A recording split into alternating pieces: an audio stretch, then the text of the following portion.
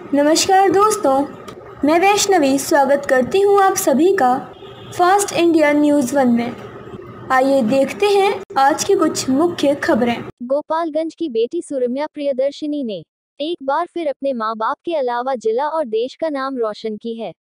सुरम्या प्रियदर्शिनी ने Abu Dhabi में होने वाले अंतर्राष्ट्रीय स्तर के सौंदर्य प्रतियोगिता, ब्यूटी कॉन्टेस्ट में यूक्रेन, आर्मेनिया, पाकिस्तान समेत कई देशों की प्रतियोगियों को पछाड़कर शी इंटरनेशनल क्वीन दुबई, का खिताब अपने नाम किया। इसी के साथ ही सुरम्या एक वर्ष के लिए शी इंटरनेशनल पेजेंट दुबई की ब्रांड एम्बेसडर सेलिब्रिटी भी बन गई हैं।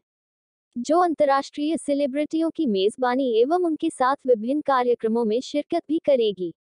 सुरम्या प्रियदर्शिनी के भाई सत्यम ने बताया कि दुबई के शांग्रीला होटल दुबई में 27 मार्च को यह प्रतियोगिता आयोजित हुई थी। इस प्रतियोगिता में कई देशों के प्रतिभागियों